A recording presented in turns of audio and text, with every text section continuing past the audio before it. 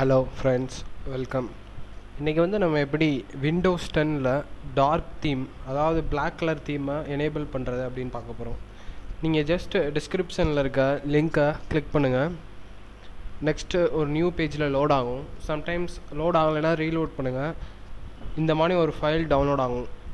Just நீங்கள் டிஸ்கிரிப்ஷனில் இருக்க லிங்க்கை கிளிக் பண்ணாலே இந்த ஃபைல் டவுன்லோட் ஆயிரும்.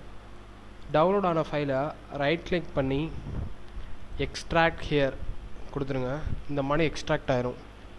இதில் ஒரு இது வந்து பிளாக் டார்க் தீம் ஒரு இது வந்து மறுபடியும் லைட் தீம் அதாவது இப்போ வந்து நான் செட்டிங்ஸ் போய் காட்டுறேன். எஸ்சி டிடி செட்டிங்ஸ் போனீங்கன்னா இப்போ இது வந்து லைட் தீம் இப்போ நான் க்ளோஸ் பண்ணிட்டேன். இப்போ வந்து நான் டார்க் தீம் எனேபிள் பண்ணும். அதுக்கு அதை டபுள் கிளிக் பண்ணிட்டு ரன் எஸ் எஸ் ஓகே இப்போ அவ்வளோதான் டார்க் தீம் எனேபிள் ஆயிடுச்சு இப்போ நான் உங்களுக்கு காட்டுறேன். செட்டிங்ஸ் ஓப்பன் பண்ணி. இருந்தால் Windows ten dark theme enable ஆயிடுச்சு மறுபடியும் நீங்கள் இதை லைட் தீமாக மாற்றணும் அப்படின்னா லைட் தீம்க்குரிய சாஃப்ட்வேரை ரன் பண்ணணும்.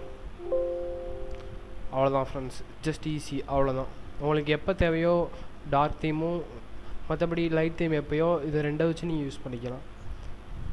தேங்க்ஸ் ஃபார் வாட்சிங் ஃப்ரெண்ட்ஸ் வீடியோ பிடிச்சிருந்துச்சுன்னா லைக் பண்ணுங்கள் சப்ஸ்கிரைப் பண்ணுங்கள் கமெண்ட் பண்ணுங்கள்